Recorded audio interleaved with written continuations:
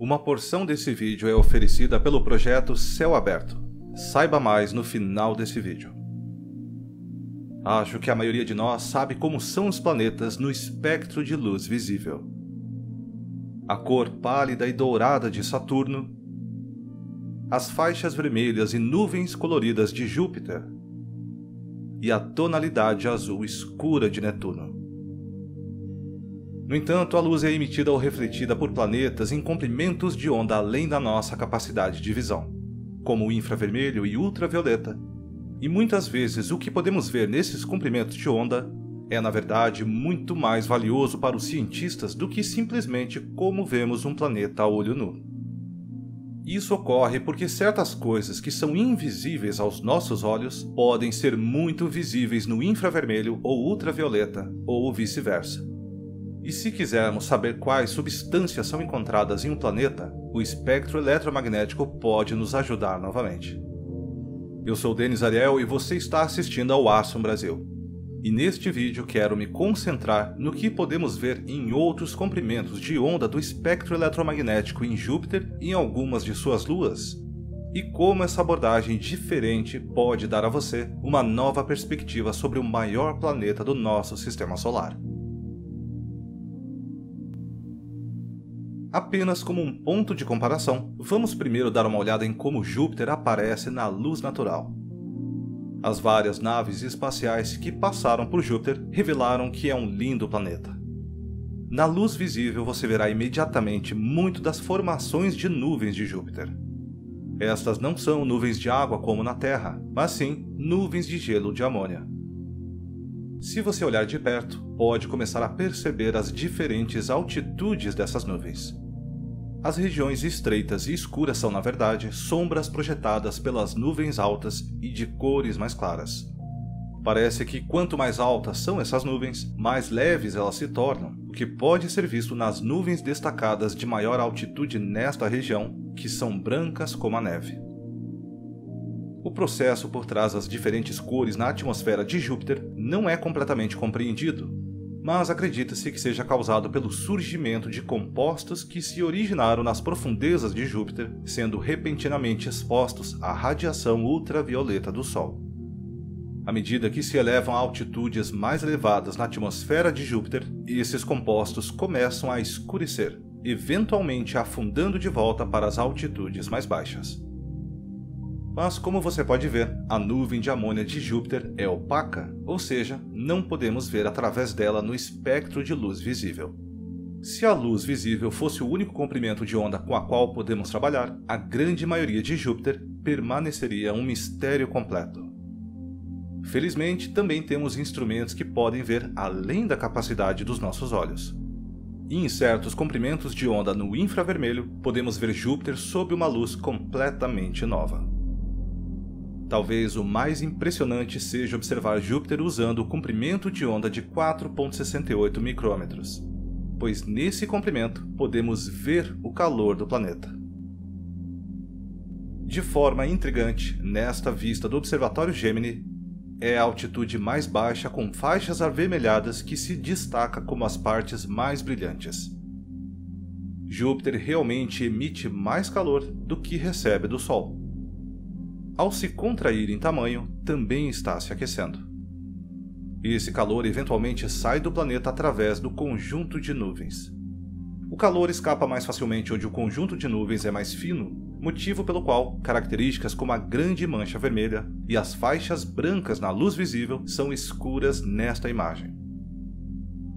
Felizmente, não estamos apenas limitados a uma visão do disco de Júpiter graças à espaçonave Juno, que está em órbita ao redor de Júpiter agora mesmo. Vendo os polos de Júpiter em infravermelho novamente, os cientistas foram capazes de criar um mapa 3D dos vórtices incríveis que são encontrados lá. O polo norte de Júpiter tem nove vórtices aparentemente constantes, oito desses em uma forma quadrada, girando em torno de um grande vórtice encontrado bem no centro. Novamente, você notará que são as regiões de altitude mais baixa que estão emitindo mais calor.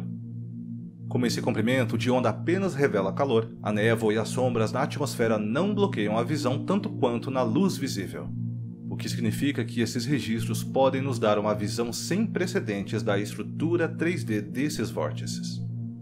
Para os padrões da Terra, faz bastante frio nessas regiões. Mesmo as seções amarelas têm temperaturas de apenas 13 graus Celsius negativos, com as regiões mais escuras e de maior altitude com temperaturas de até 83 graus Celsius negativos. E como a fonte de calor é do próprio gigante gasoso, essa visão está disponível para Juno dia ou noite e não depende da luz solar refletida. As tempestades também podem aparecer no infravermelho antes de serem percebidas na luz visível. Veja essa comparação feita pelo telescópio espacial Hubble. Essas tempestades, quase do tamanho da Terra, localizadas abaixo do topo das nuvens, são muito mais quentes do que o ambiente ao redor, indicando que o calor interno desempenha um grande papel na geração de distúrbios atmosféricos. Enquanto estamos neste comprimento de onda, Vamos também dar uma olhada rápida em uma lua vulcânica de Júpiter, Io.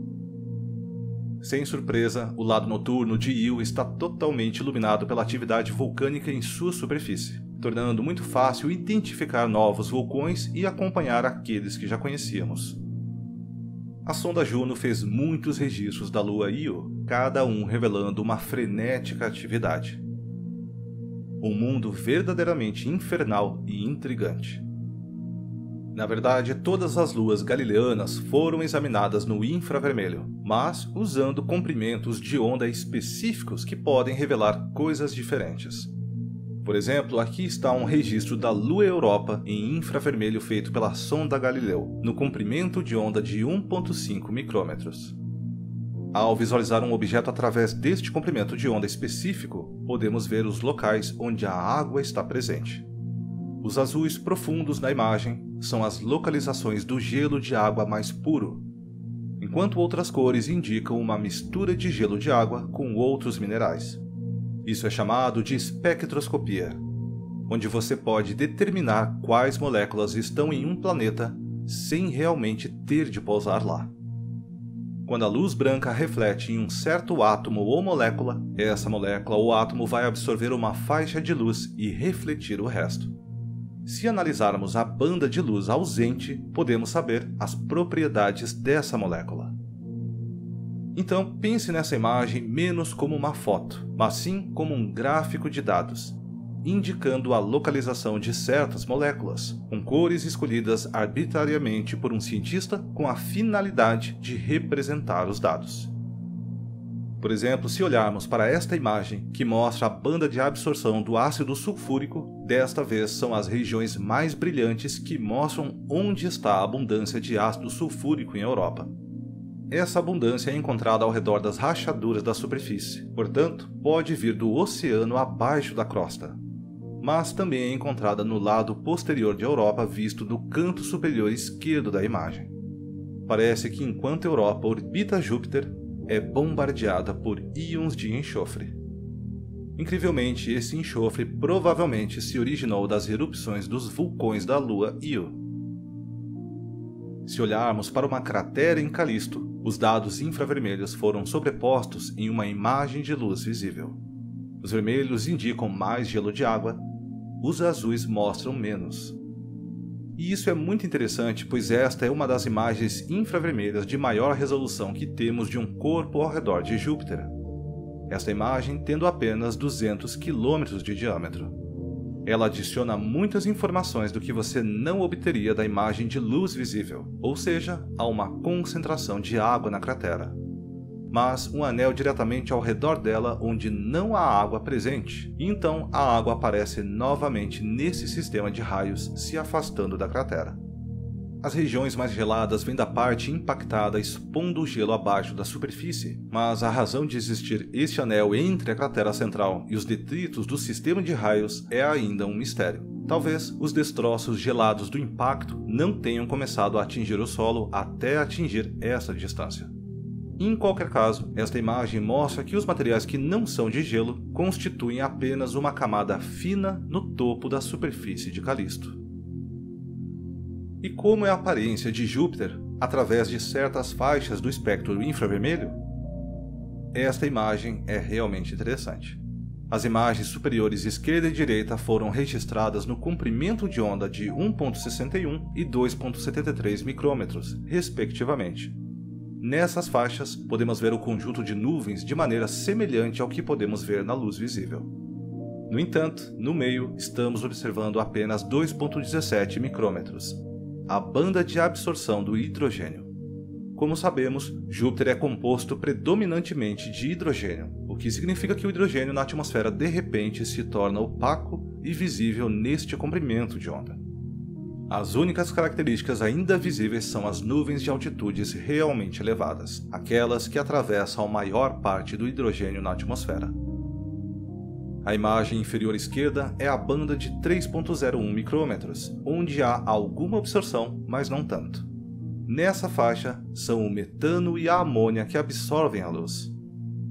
O meio inferior está em 4,99 micrômetros, dando-nos outro mapa de calor, e o canto inferior direito é uma combinação de cores falsas de todas as cinco imagens. E aqui outro ponto bem interessante. Esse é o processo usado para ilustrar um objeto celeste com cores falsas, e que você provavelmente já viu em alguns dos vídeos anteriores aqui no canal. Agora você sabe o que essas imagens em cores falsas estão tentando mostrar. A última visão interessante de Júpiter que quero mostrar está no ultravioleta. A espectroscopia de absorção no ultravioleta não é muito útil na astronomia planetária, dos poucos registros que temos sobre planetas, o mais marcante talvez seja o registro usado para rastrear o impacto do cometa Shoemaker-Levy 9 em Júpiter no ano de 1994. A poeira absorveu muito da luz solar ultravioleta e os cientistas puderam rastrear facilmente os ventos na estratosfera do planeta, ao observar a evolução dessas características. No entanto, as moléculas que são quentes o suficiente emitem luz em muitos comprimentos de onda diferentes.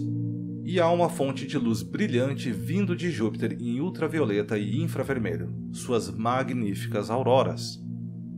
As auroras de Júpiter são extremamente poderosas em comparação com as da Terra e são uma característica permanente do planeta.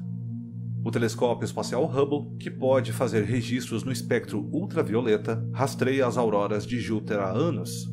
Embora os melhores registros tenham vindo da sonda Juno no infravermelho, simplesmente devido à órbita de Juno passando sobre os polos do planeta, enquanto o ângulo de visão do Hubble torna as observações mais difíceis.